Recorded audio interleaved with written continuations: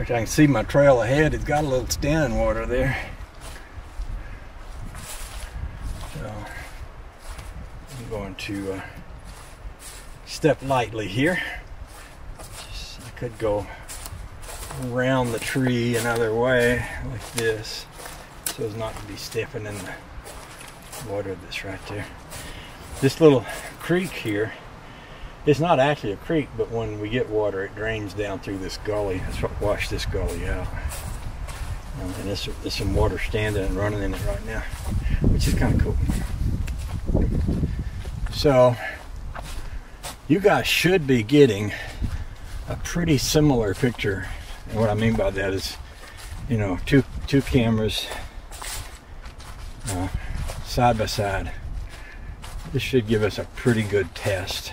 And the other thing is when I put these on, when I put these up, I'm not going to edit them in any way. For example, I last night I, I had done this with the uh, GoPro and I found that if I changed it from uh, the way it automatically was to a thing called hard light, it was a lot sharper, clearer.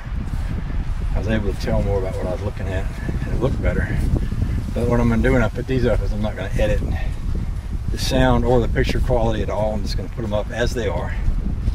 And uh, we'll see what we think. The temperature is pretty nice here. And, it, you know, even with the temperature we have right now, uh, the wind settles down a little bit. I'll be ready to put the boat in. Uh, if you're out there in a kayak right now, that wind blowing real hard like that'll have its way with you. I believe I got a new tree that's falling down here.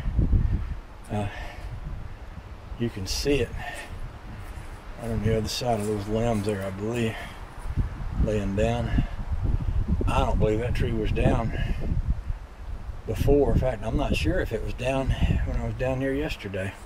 I don't remember seeing it down, but it is now.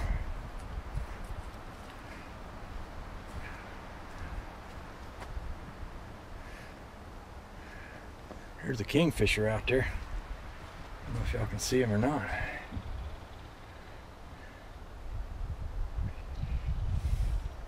One of the things I noticed the other day is that the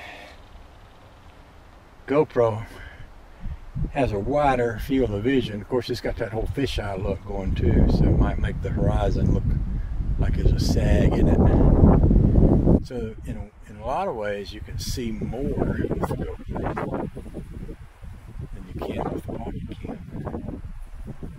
But the Pocket Cam is uh, seems to be a lot clearer. At least it was the other day. We'll see when we put this up. You know, there's a lot of details, like just these colors on this tree, that lichen, and that little piece of cedar growing behind that. All these colors, the moss all around. That's interesting. So, in, in a lot of ways, you can see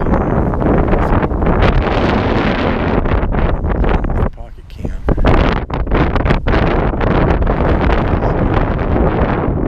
Seems to be a lot clearer. At least it was the other day. We'll see when we put this up.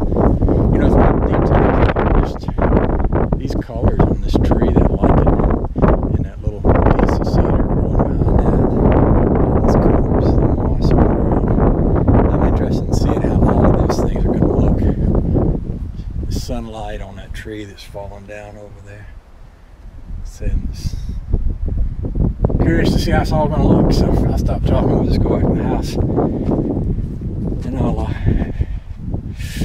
I'll uh, throw these two videos in the computer. I might put them side by side uh, once I put them up.